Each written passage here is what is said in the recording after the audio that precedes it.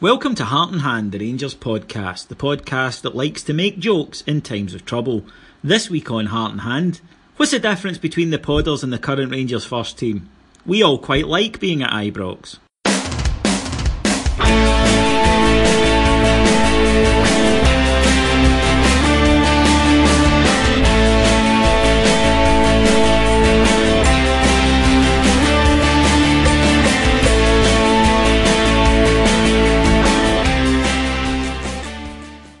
Today's show is brought to you by Maitland & Co. solicitors and notaries. Now, of course, we hope that you never need to avail yourselves of legal services, but unfortunately life isn't like that. And Maitland & Co.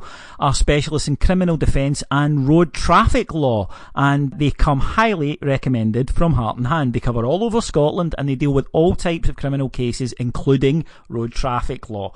They appear in Justice of the Peace, Sheriff and High Courts. They are on call 24-7 because because unfortunately you're never going to know when you're going to need a lawyer and they are available 24-7 for police station interviews, prison visits, legal aid is available, competitive rates if applicant is not eligible for legal aid. And first interview is free. Maitland and Co have represented fans charged under the offensive behaviour at football legislation. So, if you ever need legal counsel, the best place to go is Maitland and Co. Get in touch with them at info at maitlandandco.net. That's info at maitland, M-A-I-T-L-A-N-D and co.net. 07714 That's info at maitlandandco.net 07714 for all your criminal defence needs. So, welcome to Heart and Hand, the Rangers podcast. My name is David Edgar. I am your host, and joining me this week from the east, uh, two of them, in fact. I was going to make a joke about a, a, type of weather that has recently occurred, but I won't do that because they're good and staunch. First up, Mr. Cameron James Bell. Good evening, David. Good evening. Nice to have you. And joining me from pretty much near you, in fact, uh, is uh, a, a, stalwart pundit of the Heart and Hand team. It's Mr. Ian Hogg. Good evening, gentlemen. Pleasure as always. Saturday, Rangers took on Kilmarnock at Ibrox and turned in, I think, you know, without much argument, certainly the worst performance of 2018 from them. Uh, a performing of such stunning nothingness that uh, it, it, matched the glacial temperatures at Ibrox, where it was one of those days where oh eight or nine of them came under four out of ten, and we just yeah the first twenty minutes was I suppose all right, didn't really do much, but we are kind of winning the if you like the territorial battle. But after that, couldn't string two passes together. Players' control was awful. Players' passing was awful. Uh, they then started abdicating making any decisions in the final third, which led to just a lot of turn back and start again. When they did go through, you could see why they didn't want to make decisions. Um, Kilmarnock inevitably get a goal, and inevitably it's Kris Boyd who scores it. Uh, poor marking from Russell Martin, who loses him for the goal and we never really look like getting back, although Martin nearly atones with a header from a great Tavernier cross from a set piece. But I felt, Cameron, that Rangers got exactly what Rangers deserved at that match. 100%. Um, it felt a bit to me as if when you saw the players, what they what, what you could loosely term passing the ball, it wasn't a case of being able to do it to try and penetrate. It was a case of I'll give it to you because I don't want to lose it. Yeah. Therefore, if I pass it to you, it's not my problem any longer. Yep. Um, we were unfortunate not to uh, go against your, your summary there, but obviously unfortunate in the first half with a Martin header, which kind of flashed by the, the goal. Uh, and that was it. That's pretty much the sum total of what was a highlight of a game that I think most of us contracted hypothermia for the joy to watch. Uh, um, someone did suggest on Twitter that uh, when the players are watching the game back, that they should be forced to watch it in a freezer the way the rest of us will. Yeah, yeah, I would agree with that. Yeah, probably, probably, and then throw water over them as well while they're watching it. Um, yeah, no, dismal all round. Um, too many players having an off day, which, if I'm being perfectly honest, I'm getting sick of saying. I don't understand as to how you can't summon the energy, the motivation uh, when you come out of the Old Firm game um, and feel like you, have had a robbery, that you've taken nothing from a game that you've led twice in. Um, there's some real big questions for me about a lack of character in that team. Um, no. And I think to a man, they were a disappointment on Saturday. We'll come back to that. That is a big key part of the home record, which we will talk about in a minute. But first up, Hoggy, I think Cameron is expressing a disappointment. We all felt that we were looking for a reaction, and well, we got one, but it wasn't in the direction that we'd hoped. That clearly the players arrived out there and after a six game winning run, one defeat, and it wasn't a bad defeat. I mean, it was disappointing defeat, but they didn't get cuffed but one defeat completely knocked them off that run and completely changed their mentality 180 degrees. And that is really, really worrying.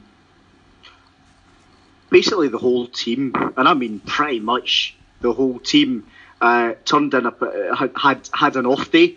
Cammy, you nailed it. Fucking fed up saying that. Um, so maybe it's just not an off day. These guys just strike me as they come out at Ibrox and playing at Ibrox, the, the weight of expectation seems far too heavy for them.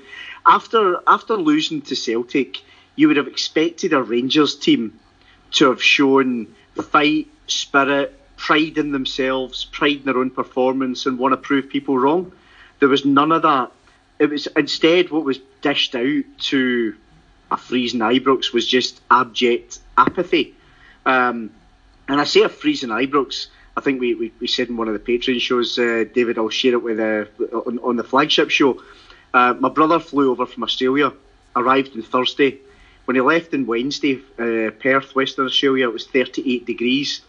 When he landed in Edinburgh, it was what, minus one.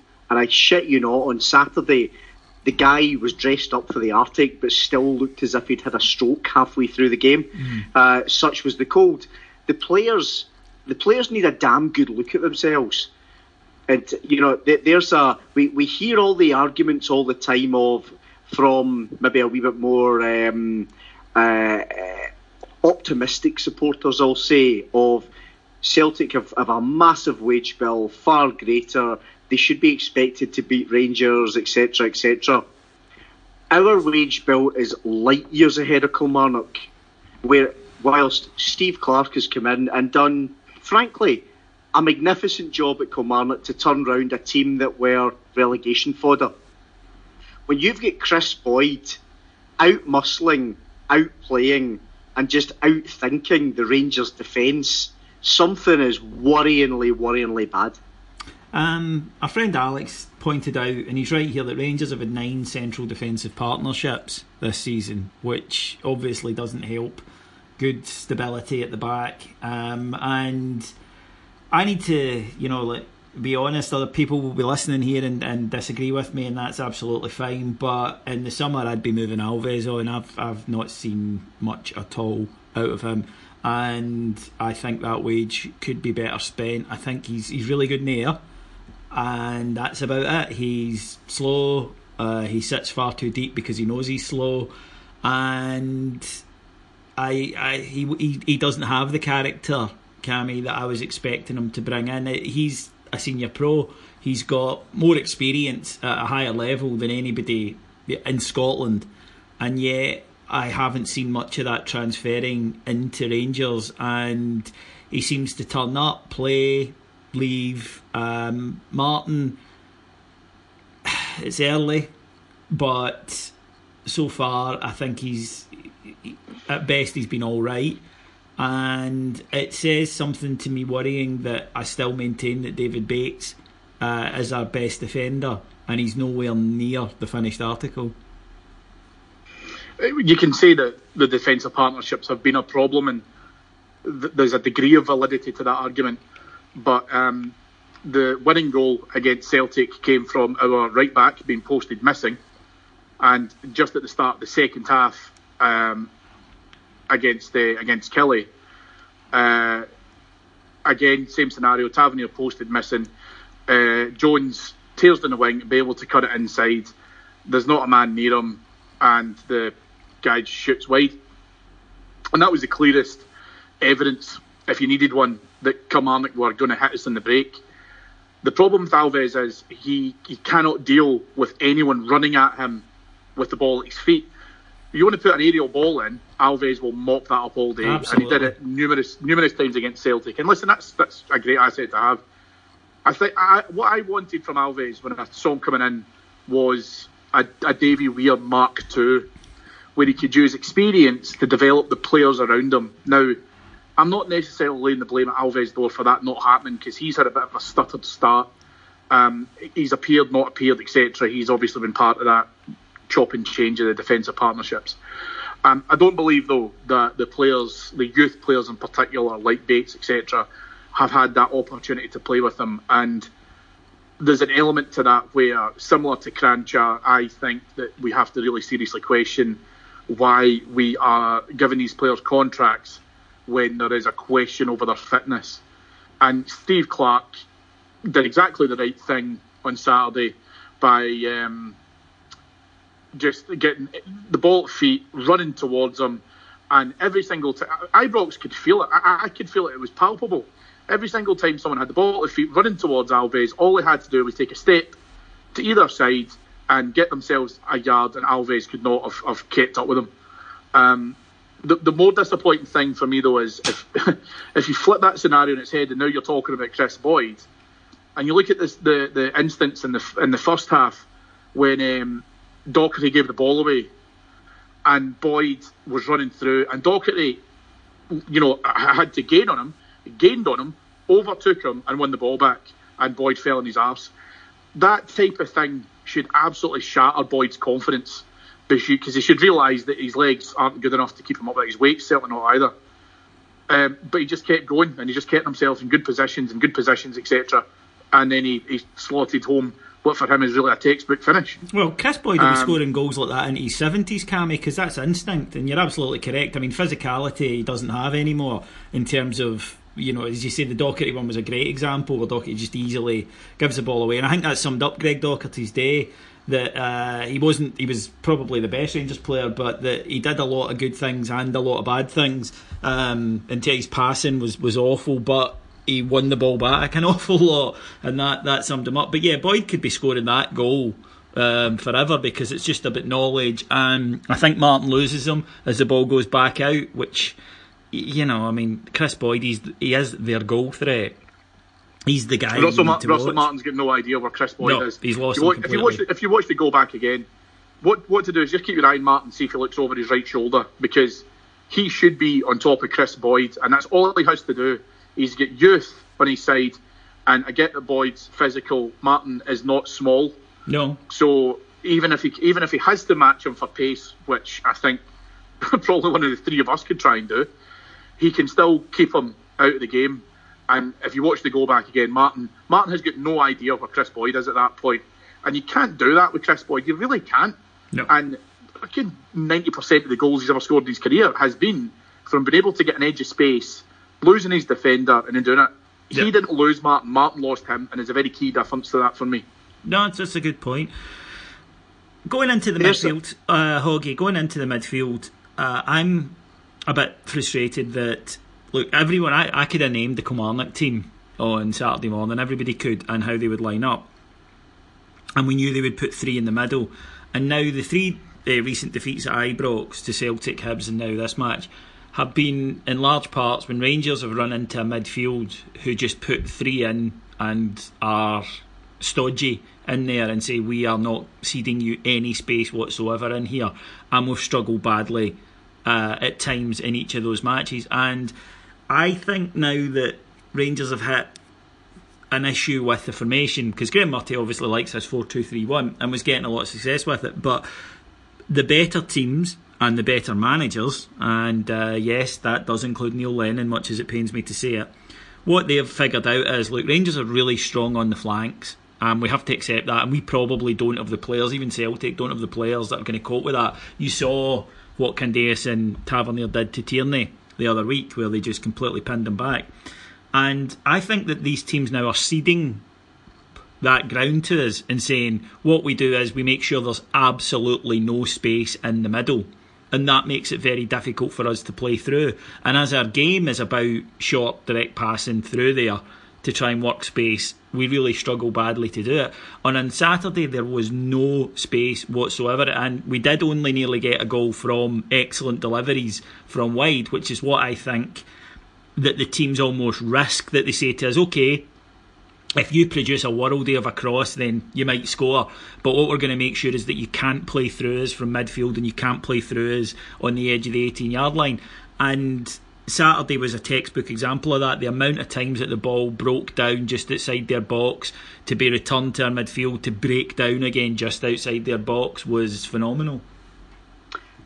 Do you remember a certain manager, David, that um, liked to play one way? That plan B was do plan A better. That any time we had a poor result, generally against one of the better teams in the league, and probably a more competent manager, we were always to learn the lessons and move on. Mm. That this is so spookily similar. It's untrue that we've effectively got Graeme Murty, and I know he's he should only be in the job until the summer. Uh, I've, I've, I've said it. I, I don't think he should be the manager after the summer. Um, Graeme Murty is showing showing that he's got a preferred way of playing, or, or we thought it was a preferred way of playing. Recently, he showed actually that's his only way of playing, and his teams have got him sussed. Decent managers have got him sussed. Everyone knows exactly what he's going to do. Christ, Ayr United knew what he was going to do, um, and took the lead, and we, we went on to steamroller them because they, were blown out the backsides. Um, but better managers have them sussed. Celtic did it. Neil Lennon did it with Hibs. Steve Clarke did it with Kilmarnock. Christ Hamilton did it at Ibrox.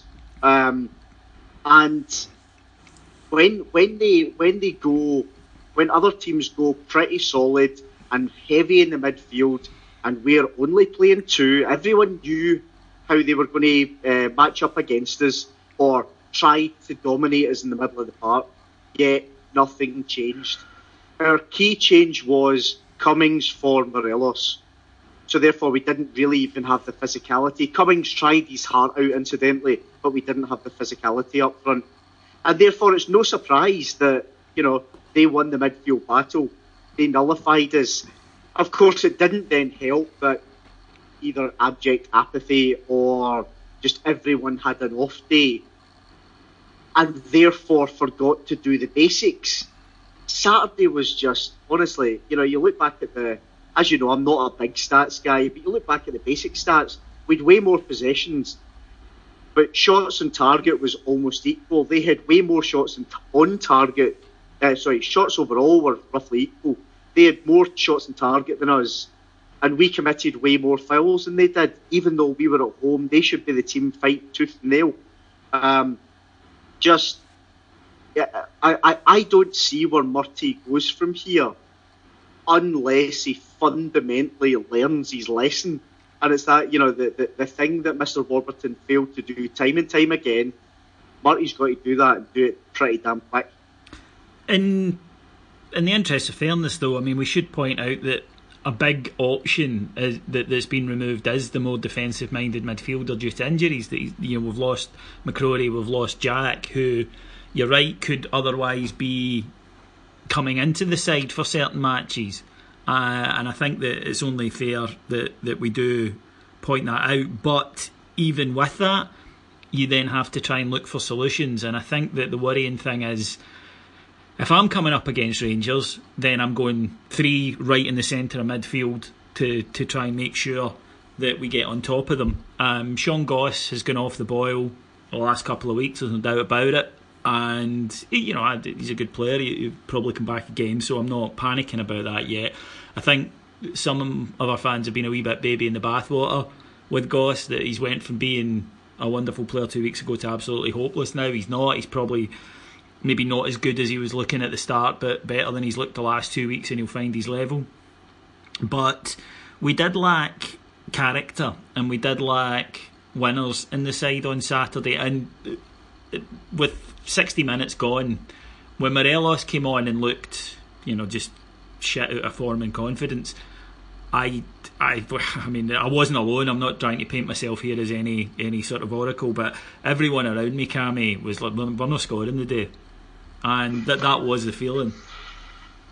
So it was, and and um, Murty had said in his Rangers TV pre-match interview, he was asked obviously what's the thought process behind starting Cummings and drop Morelos, and he, and he said he was quite right with this, and he said. Um, Morelos has played a lot of games. I've spoken to him. He understands it, etc. Um, you know, he understands the decision. Jason's been playing well, etc., etc. And then he, he kind of said something quite interesting at the end of it, where he was like, and you know, maybe Steve Clarke won't expect it. And I didn't really kind of think about that too much until probably after the game. And this is one of the things where I would probably protect Murty. Um, because if you're to ask, ask half the fans at Ibrox, they probably would have said, "I give Cummings a run out. Let's see what he can do. Let's give him a um, a start and let's open him up a bit." Um, he can't push and pull defenders the way that Morelos does. It's not part of his game. So I don't think Murty can play a, a, a, formation with that with Cummings at the top of it. I think he needs someone with him to do a little bit of the physical work, and he will run onto balls. He'll create opportunities to do that where I think your problem with this is, and I think I, I don't know if we're, we're overcomplicating what I think, very possibly wrong, is quite a simple problem. And the simple problem is being able to break down two banks of either four and four or four and five. And if you if you were to watch the entire game on Saturday, Kilmarnock actually left a couple of players up the top of the park when we were coming at them and coming at them what we ideally need in that scenario is it has to. It, all the ball did was constantly move from left to right. Nothing was coming through the middle. And your issue when you're trying to go through the middle and almost play a little bit tiki taka and try and just create a bit of space, similar to how Docherty set up the Murphy goal the last time, well, sorry, before the Celtic game, um, was just that killer pass right through the middle. Murphy creates a space, it's a goal. As soon as that breaks down, there is just this massive audible gasp of disappointment from the entire home support, which no doubt leaks into the players.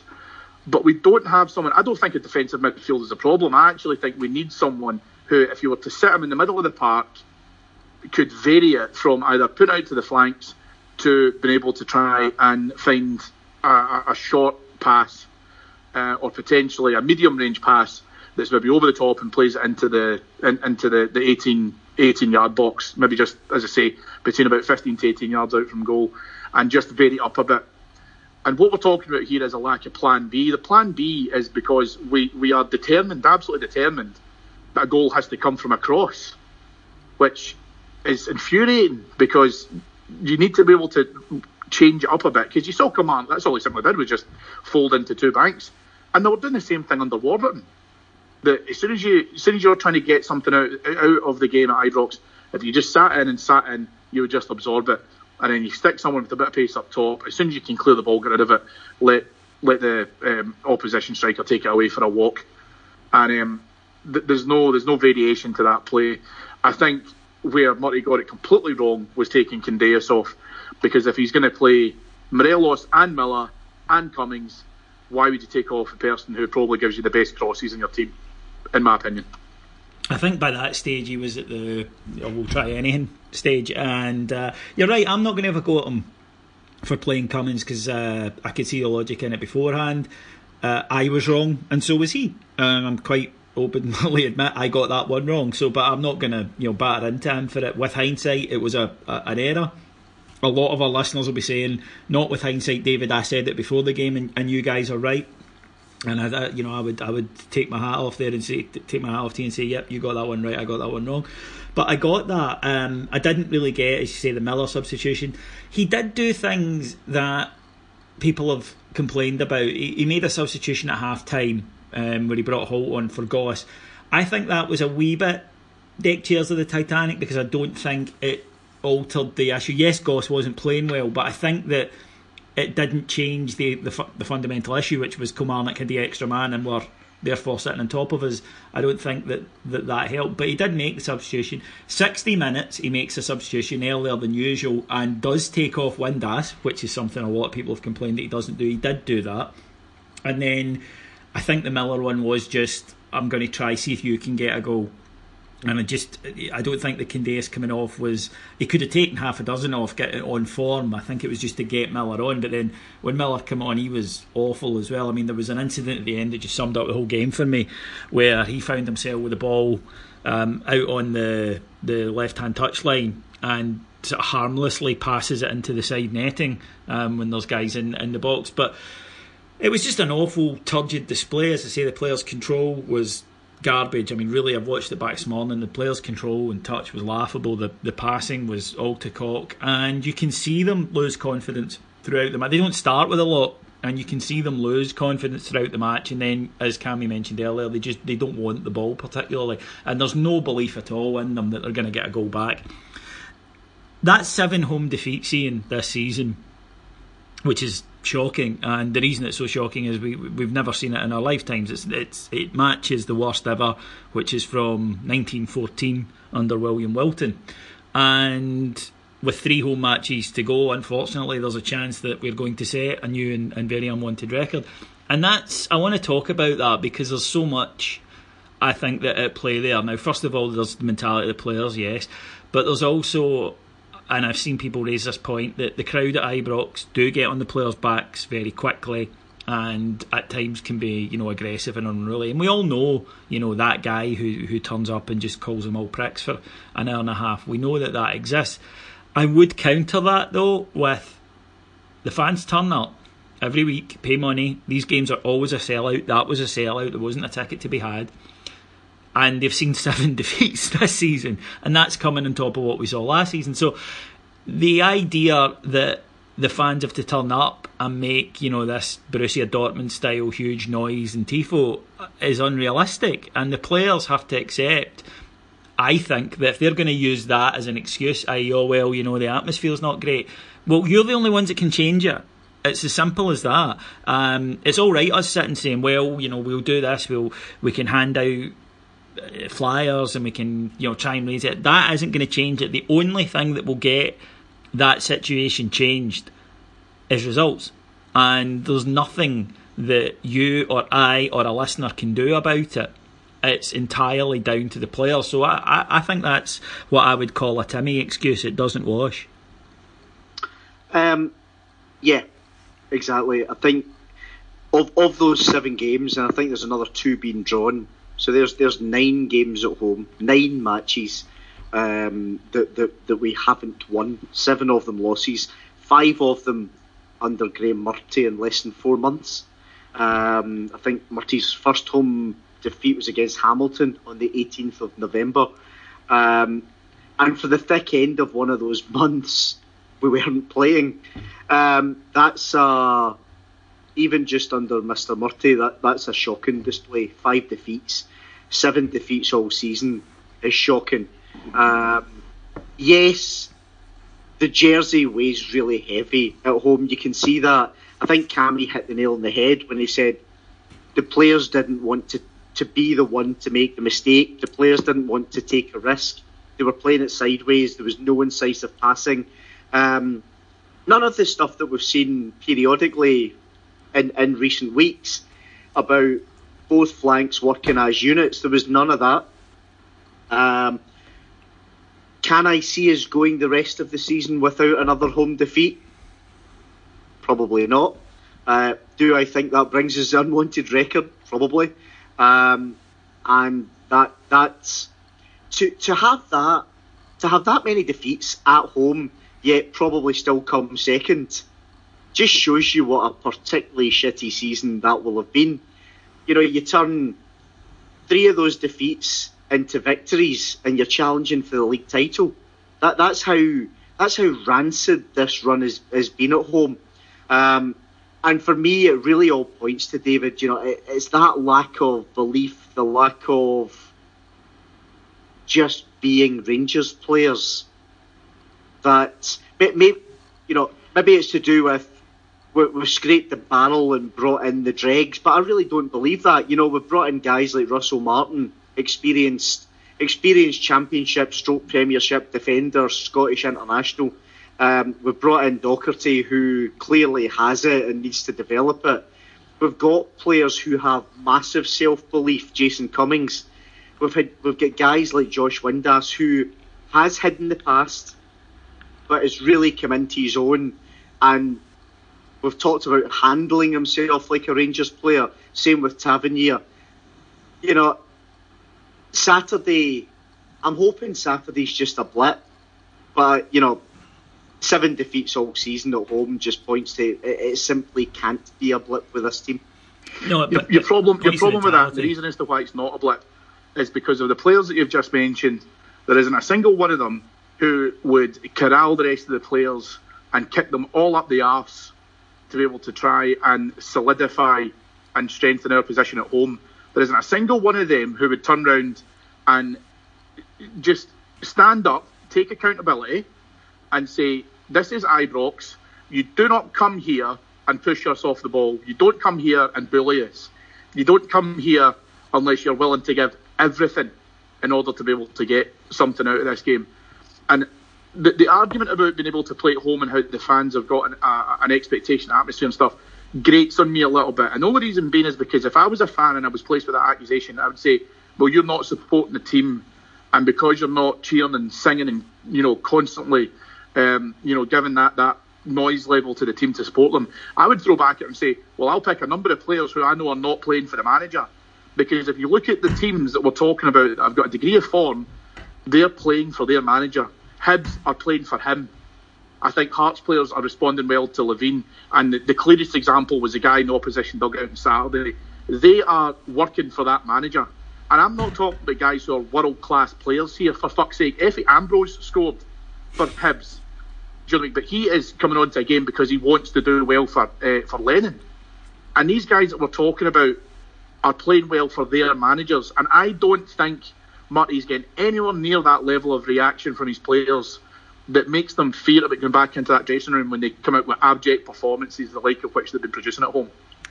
I think what would worry me, um, and I'm, I'm with Hoggy, I hope it's just a blip, and I haven't made my mind up on Murty yet. I, have gone backwards and forwards, but I'm going to stick to what I said, um, which is I'll give him to the end of the season. Um, but you know we analyse it week to week, so th- this is where I am today. May change, won't change next week because there's no game, but may change in time. But I would be concerned that, like I say, that was one blip or one bad result and not a horsing, not a 5 1, not a, an embarrassment. A game they should have won. Okay, they didn't, and it was really disappointing. But it wasn't, I think, something that should have resulted in the kind of spinelessness that we saw on Saturday. And there is a concern that I have, and as I say, I haven't made my mind up yet, and he could prove me totally wrong, and I hope he does, I really do. But my worry is every time he's run into an actual football manager, he's lost. And different circumstances each time, but the result has been the same. And let's be honest, we can look at circumstances, you know, the week of the game, but then we're going to look at the overall picture. And Hibs, Celtic, now this match, he's lost and lost convincingly. Uh, counter argument to that is a good performance at home to to Hearts which unfortunately at the moment is the outlier. That's the problem. I can't use that too much in the defence because it's the outlier.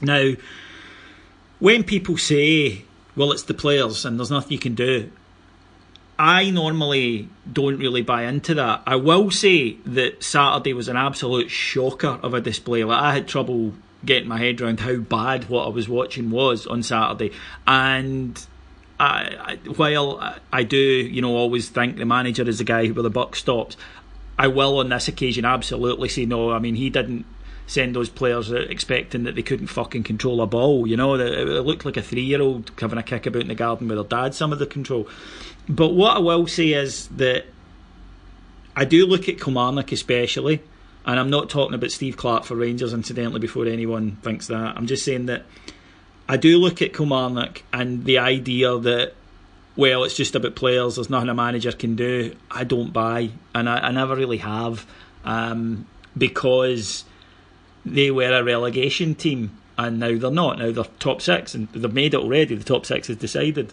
Um, yet another exciting race in Scottish football, and I do look and think this is what experienced, competent managers do with squads. They get them playing better than they look on paper, and there's not enough evidence yet. There will be by the end of the season. But Graeme Murty has got to. He he doesn't now have any wiggle room at all. He now has to pretty much win from now to the end of the season. I think, Cammy. So he does, but there isn't a person among the three of us who believe that that is possible. Um, and I, I, hate saying that. The thing is, it sounds like I'm probably having a go at Graeme Murty here. I'm, I'm legitimately not. I think Graham, Graeme Murty the, the service and dedication he's given to that football club is absolutely phenomenal. Uh, I've said before in the pod, in fact, all of us have said, I think said for instances, the board have got should do nothing other than give their everlasting thanks to Graeme Murty for being able to manage the ship over this kind of period because of the Kranjcar-esque speed of which they've been able to try and recruit a replacement manager. And the problem you've got with this scenario now, David, is we're now turning around and saying, yeah, we'd like to be able to try and see how we get on for this. We've still to go to Tynecastle for the first time this season because we haven't done that yet. We've got the Piggery to be able to go to. And I think if I was to say to you and the majority of Rangers fans, of the nine home game, or sorry, the nine points available from our home games from now until the end of the season, would you take a win and two draws or something along that nature? I think most Rangers fans would accept it, and that is that's that in itself is is inexcusable. And I think that there's there's got to be some points here where the players. I don't believe the the players. I don't believe the players think that there's a there's a degree of accountability falls on them because of what's happening in the managerial situation. I think it gives them more latitude to have this slightly easier approach. And what what annoys me is that when I see teams like Kilmarnock playing for each other and Motherwell a 10 man Motherwell team been able to keep a clean sheet against Celtic, and I mean throwing everything at Celtic in terms of, you know, diving in front of balls, being able to do that. I think that there's been a point where we need to seriously look at how many leaders do we have on that part that when the shit hits the fan will take that step up to be able to do that and harass the other players. I, I don't think we've got a strong enough manager to be able to do that as it currently stands. And I hate saying that because I would love Graeme Murty to get that job permanently. I, am sorry, but my, my time is up. I'm not like you. I'm not giving him until the end of the season. I think even if he gets by Scottish Cup semi final, and even if he wins the Scottish Cup, is thanks, Graeme. You've done a great job. You've got a job for Rangers at life. I don't care what it is, but we need to bring in an experienced manager now who can get these players moving when the shit really hits the fan. We don't have a plan B, and that that that will be his biggest downfall. And I'd like to echo that, David, just uh, uh, around. Although I have made made my mind up on on Graeme Murty, um, here's a guy that was the under 20s coach um, and doing pretty well as the under 20s coach, incidentally. And he stepped up twice to steady the ship when I think uh, the way you put it there, Cammy, was spot on. Kranjcar esque pace from the board. Um, especially the second time round when it was just an absolute fucking car crash farce. Murty's done all right and he wants to be the next manager permanently after the summer. Um, however, what we're effectively faced with is a guy learning his trade at Rangers when Rangers need an experienced, steady hand to get the players to run through brick walls for him. And I'm afraid he's just not that guy. You two are so fucking fickle. Two weeks ago, it was, oh, Graeme Murty's great. We're going to be 55's coming. No, listen to but, you. But David, but David, you know what? You know what? Listen, Ian's totally right, and the reason as to why he's right is because the three of us right now, if we could, would all give Graeme Murty the job if he was getting better results. And what what frustrates all of us as as Rangers fans is, I a couple of weeks ago. I didn't think that we were back in a league title. I didn't think so. I think they were just stronger in terms of being able to try and be more consistent but we're within touching distance of the last two Old Firm games, we should have taken at least four points. That's my viewpoint from that. So the gap is definitely closing. But again, I, hate coming back to this. See, beating Celtic, beating Celtic doesn't win you the league. But able to go away to Dens Park and get results on a shit night on Wednesday gets you um, the league. Well, like Cammy, I fancy is to go away and get a result. It's at home. I don't have any but, fucking but, confidence. Yeah, but that's in, that's on top of your your solid basis of home games, three points, without question. Home games, three points. And we mentioned in the pod a wee a wee while ago. I think I can't remember whose miss it was. Um, it might have been Morelos again, but if that um, if that was away from home, he scores it. That's that's actually what it's like now. Is that you can't be relied upon to be able to get points at home, and that's that's not good enough. It's not good enough for this Rangers team. No, it isn't, and unfortunately, it keeps happening, and that's what makes that's what makes it so difficult. I think to because there are good things, and I don't want to you know anyone to be listening to this and saying, "Ah, you're forgetting this, that, and the other." Well, no, I mean there are good things. There has been improvement. I did like the January window. I think that Mark Allen, especially, is coming out of this season with a lot of credit for someone who looks like a good appointment, and I think you know will save the board a wee bit in terms of having a hundred percent bad record in terms of appointments. But I do believe that the fans, you, you can't sell season tickets to fans you look, we've got a rump of people who are going to turn up, and it's the majority. It's you know thirty five thousand are going to buy season books regardless. But those kind of more not quite as dedicated ones, the ones that have, have been buying them, those are the ones that are going to go. Nah, we keep getting fucked at home. I'm going to go and get. I'm going to get away tickets because you know it's better, it's more fun, and let's be honest, the match day experience at Ibrox isn't isn't anything at all. There was a really good point on followfollow.com, Mark's website, that. Uh, you know, for instance, Bobby Russell comes on to do the halftime draw on Saturday. There's no video announcing who he is and you know pointing to his achievements. he just walks on. It's Bobby Russell. Kind of half the stand that are there give him a clap, and he goes away again. And that's everything at Ibrox. You know, the food's atrocious and it all plays into the atmosphere. And I think that the board have concentrated a lot on the books, and that's understandable. And we've spoken about this before, and they were right to, and I'm glad. But there's an awful lot of stuff needs fixed, and when it's going well, it masks it. Absolutely, when we're picking up wins, nothing else matters if Rangers are winning. I get that, but the run, the risk you run when you're saying it doesn't matter so long as we're getting results is you need to be getting results. And as soon as you stop getting results, people notice things like a shit atmosphere, the food's terrible. Um, and you have to, the first thing you have to do at Rangers, the first thing you have to do at Rangers is get a team that competes at Ibrox. 100% you do, because it's our home and we take a special pride in it because we'll still be there in 10 years when none of these players are. And I think that the constant failure and stuttering form at home is I think it, it's it sours everything else. It spoils everything else. And when that happens and people get that sour taste in their mouth, that's when they start looking about and noticing all the other things, and that's when people start moaning uh, and complaining and ranting. And, and I can't blame them. I really can't because you know, that's what I'm sitting doing here just now as well. And it is frustrating because I think that you know, last season Celtic were away up over the hill. There was nothing could be done about that. This year, I've never got that feeling. They're not as good as they were last year, and yeah, look, the, the argument is there, and people can make it and say, well, okay, if we'd got another 12, 15 points, that would Celtic wouldn't have been able to relax the way they can in certain matches, and they would have got more points, and that's maybe true, right? But I'd like to have seen it anyway. You know, I'd like to have seen if that was the case, and I just can't help but feel, Hoggy, that all season we've continually shot ourselves in both feet. Um, yeah, shot ourselves or shot ourselves, probably one of the two or both on many occasions. I'll go back to we. Uh, can, um, you guys have talked about you know the, the the the players, the formation. One of the biggest things for me is doing the basics well. We've talked about it umpteen times on this pod.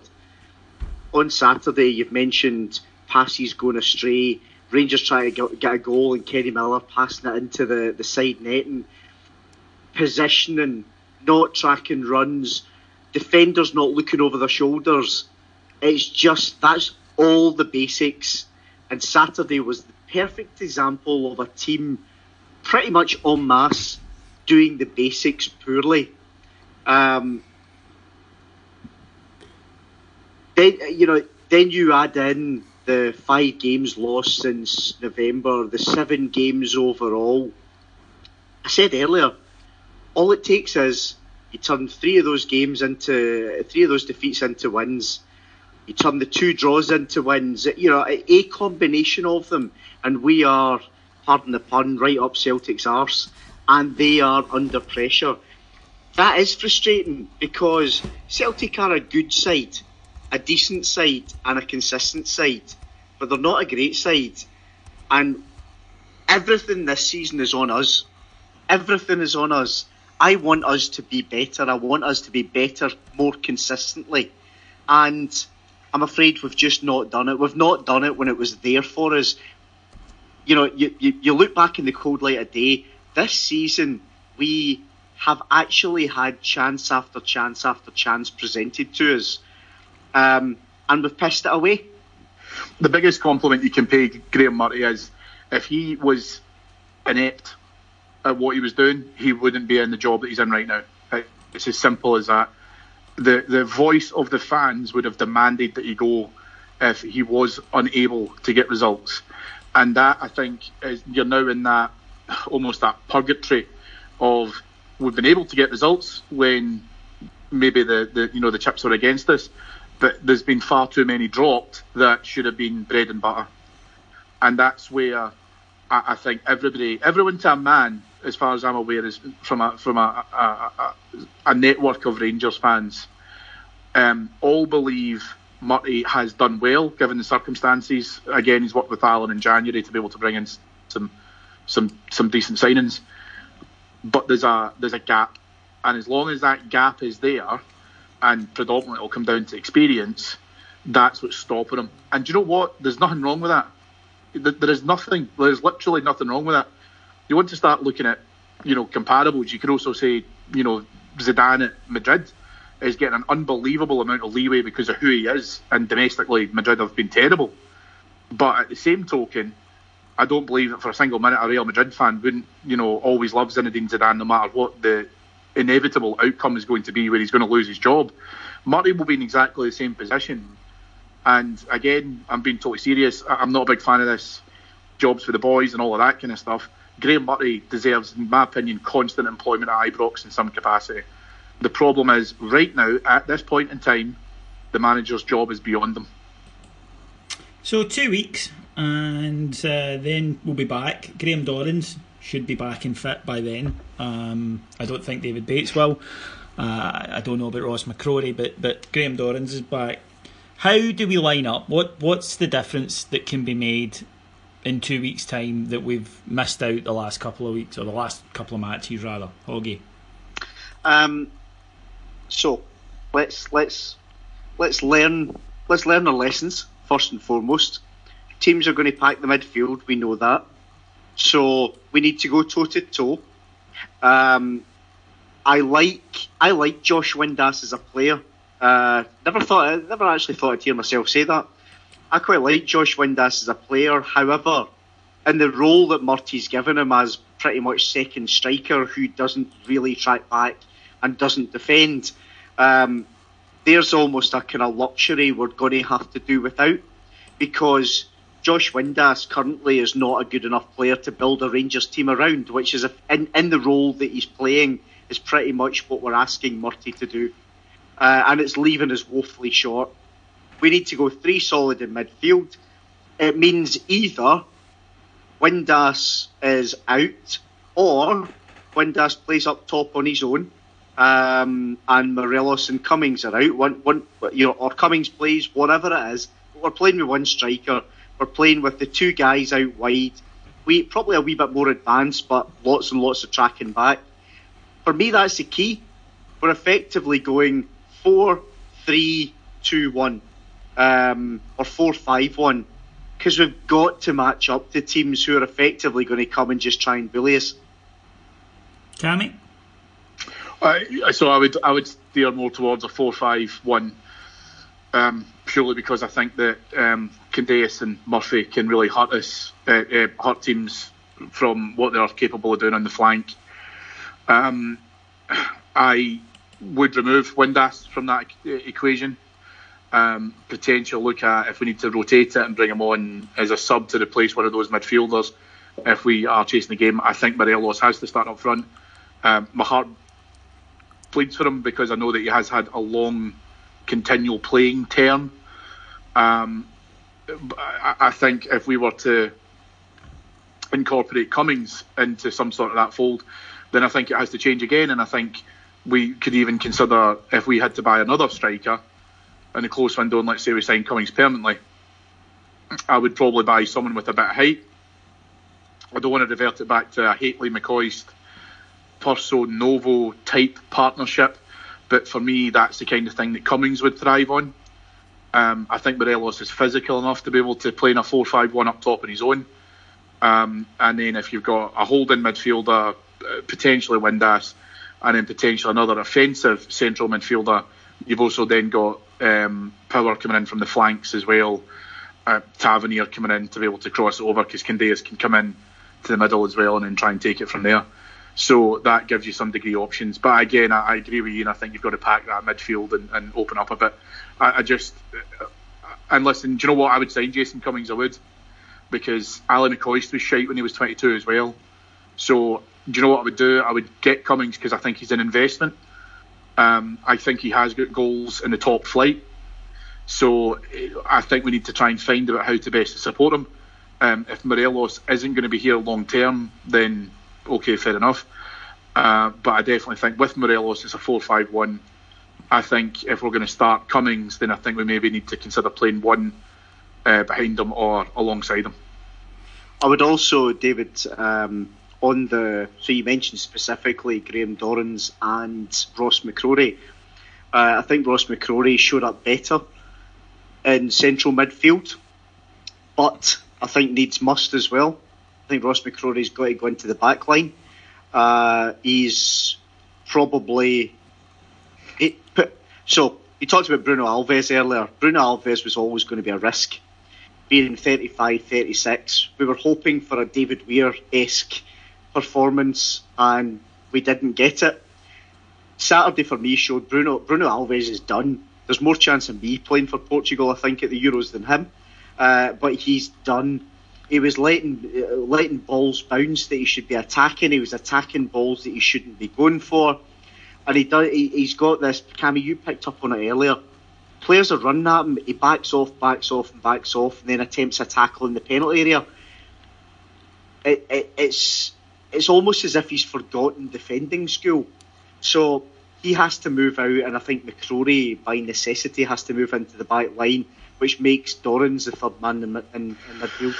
There's nothing. So the, th- the thing is, though, in an ideal world, what I would do is have Alves, because you've got to remember in the comparison with Davy Weir, typically if Bougherra or Cuéllar were playing alongside Davy Weir, those guys would be the ones who would make the first engaging tackle when players were running towards them.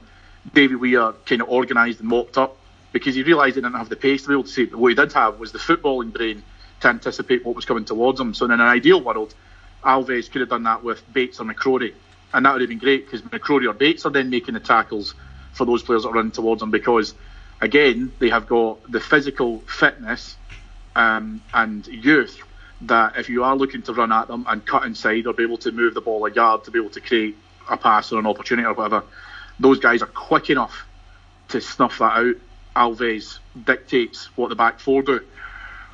That hasn't happened, and I would not give Alves any more time. I, I agree with Ian. I think he's done. Um, I, I, don't know who that replacement is. I, I know we spoke about uh, Berra potentially. I don't see a reason as to why we would leave Hearts and potentially would buy him, but if we're going to go down that road of experience again for the centre halves, then we need to think very carefully about who that person is because they need to feature regularly. Okay, folks, well, uh, as you know, it's an international break, uh, as discussed, and that means that the pod does continue with a slightly different format. This Thursday's Heart and Hand Extra will come to you if you ask me some questions because it's another one of the Q and A's that seem to go down quite well. If you do want to send me a question, go to our Facebook page, just search for Heart and Hand Rangers podcast, and uh, put a question up there, look at any of the threads, add a question in there. Or if you're on the Twitter, you can use the hashtag HHPod, that's HHPod, and ask your question. Or if you follow me already, just tag me in it. Um, but using that means I can gather them all together. If I get enough questions, then you'll get a pod on Thursday. If not, then you'll get a five minute pod as I come on and say you didn't ask me enough questions and maybe sing a song or something. Um, now, lads, we uh, on our Patreon site uh, oh, and I should probably tell everyone that uh, if you've been thinking about maybe signing up to the Patreon site but you're not sure, there is a free show available. And uh, it, again, it's on my Twitter and it's on the Heart and Hand Facebook page. One of our Advocaat Year shows, so you can go along and have a listen to that. But on the Patreon site last night, Hoggy and I started a show uh, called Football Room 101, which was obviously things that we don't like about football that should get sent in. And we did a few, Hoggy, and I still had a couple left over. So I thought I would ask you boys for another one tonight. Things that, that went in last night are modern squad numbers. You know, like guys that are number 99 or 67 at a club not too far from us. Uh, stats that mean nothing. Uh, Liverpool FC's Nivea advert. All of them went into Football Room 101. So I want you all to, to think of one, and I'll go first to give you time. Uh, obviously, you're not allowed Neil Lennon, Cammy. This is too obvious. Well, that's that's poor. That's yeah, poor. Cammy just suddenly scores one out uh, and puts in another one. And Sc- scores scores the only one he'd written down. Out. Yeah, but five times he'd, he'd written up. Now there's all all kinds of different ones here, but uh, I'm going to go with one that does apply to us, but also applies to all football. Goal music. I fucking hate it. What is the point of it? Just let the fans cheer and sing. And sometimes it's so inappropriate, like when they played it after Kenny Miller scored against Celtic to make it 4 1. And they played the goal music and it just made the Tims laugh even more. But goal music in general, just no need for it. Let us cheer and then we'll sing a song. But I think it kills the chances of getting a song going because there's this fucking music blaring. And Hoggy and I on the Advocaat years remember the time when Lionel Charbonnier, they actually started playing the Marseillaise when he made a save until he actually asked them to stop doing it. Um, something that's completely out of control, and that would go into my Football Room 101. Hoggy? Uh, yeah, I go along with that. Um, what really. Uh, so I get goal music if it's a kind of almost sing along for the crowd. There's a, as as Cammy pointed out the other week, the the club soon to be formerly known as Dundee United uh, do the you know beautiful Sunday type thing, and of course all all the all the fans. I say sorry, the, the what? The beautiful Sunday. Ah, whatever the fuck it's called. You know the one. Um, no. or, or or perhaps you don't. But anyway, this song that Dundee United sing along to, all 14 of their fans. They play that, they sing along, fine. We, we, we end up playing some rubbish that just dampens the dampens the crowd down. It's just, it's, Let's be honest, it's done it, it's done at Ibrox to stop us singing the Billy Boys. Well, true. That's why they do it. Anyway, Cammy. Um, so mine, so mine's is probably a bit somber. Oh, um, but when um, so so I hate so I hate a minute's applause. Despise the idea uh, for when people have obviously passed away. Um, I think that there's some very, very seldom occasions in which it could be used. Um, so I prefer a minute's silence. I think a, a, minute's reflection is something which is really, you know, quite poignant. I think there is something within that. What I despise is when the mascots stand alongside the teams uh, with our hands up on the last footballer. Well, with that whole, because obviously with mascots and stuff, they don't talk, so like it's all that kind of big waving thing and the gestures and stuff. And all you see, and I think the the, the really famous one is like uh, Gunnersaurus, who is Arsenal's one, kind of just standing with its head slightly bowed, um, just in this kind of moment of thought. And you're like, what the fuck are you doing? Go and just stand off to the side of the park and don't bother, you know, getting involved in this. It's not like it's just a minute. That's all you have to do. and then after that the game will start. You can spend 45 minutes prior to that fucking about all over the park and doing what you like. Um, but I hate this idea of mascots joining in with a minute silence. That to me just drives me mental. Mascots, um, mas- mascots themselves could actually go into room 101. I, I, I've, I've long held the belief, um, and it might be, it might be wrong. Who knows?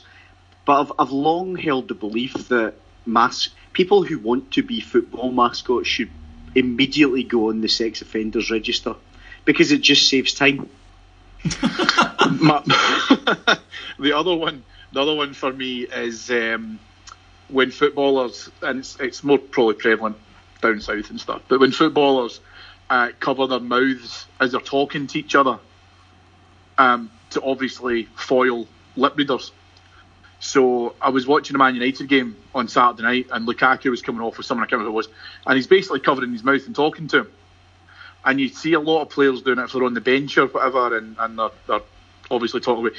And the thing is, what I don't get about this, right, is how it's going to cause a major stir when Lukaku like just turns around and goes, "I fucking hate that guy. I've, I've never really liked him," for fear of the fucking I don't know the Sunday Mail running with it or some sort of big massive exclusive that a footballer talks shit about an opponent or something like that. No one cares. It's a sport, and you're not, you know, you're not going to give away anything amazing by saying that Lukaku's probably saying, "Do you fancy get out tonight to smash some buds or something like that?" Yeah. It's not. I think I get it if they're going to if they're coming off or they're, or they're on the part and they're about to say, you know, Jose Mourinho sucks dogs cocks. Right, I get I get that that they might want to keep that private, but if they're just saying things like I'm a bit tired or as you say let's you know let's go to the dancing then it's it's strictly unnecessary. But there's so much about about modern football you can put in. I, I come back to those fucking Nivea adverts with Liverpool players that just make me want to stab myself in the eye. Um, I, and have as as a metrosexual you know as a moisturising using man and not just for wanking right I use lotion and not just for wanking I'm sure I've got. I'm sure I must have it on a phone somewhere. I'm sure I've got a photo. You do not have a photo of me wanking. No, no, I've got a photo of your old bathroom. Yes. you seem to have a problem of buying one of a particular product. You must buy three or four of them. Yes. Because, and this is this is a true story, listeners he did have like his I, I, don't know what you call it, like a kind of worktop type idea. It was like a big uh, the way the, it was an old uh, it was a Victorian flat townhouse, and yeah. uh, the the bathroom had this like big uh, I suppose like a dressing table built in. It's like a, like a marble thing. Yeah, in front of the mirror. Yeah, yeah. and it was absolutely and, covered in all the stuff I use because I worry about running out. I still do this, so instead of buying like one type like one of the deodorants I use, I buy eight, and when it gets to four, I'll replenish, and that way I never run out. Yeah, but no one, no one runs out of shower gel, David, when they're down to like the fourth bottle. Like no, I know. You've half a bottle left, then you're at risk of running out. Exactly, and I never, I never get, like the, to, I never the, get the, to that stage. It's like the Jack Nicholson thing of uh, as good as it gets. You know, where he opens up the mirror and like in the, the cabinet in the bathroom, and he just opens up a new soap, washes his hands once, throws the whole thing in the bin. That's what it was like. No, I, I, so, I used to do that with socks. Um, I used to do that with socks. I would wear them once and throw them away. But um, I don't think it's any revelation to you guys that I'm a nutter. Um, Cameron, tell them the story about you trying to visit me last week. Oh, that was Jesus. I, I would have been quicker trying to organise an appointment with a uh, with the Queen.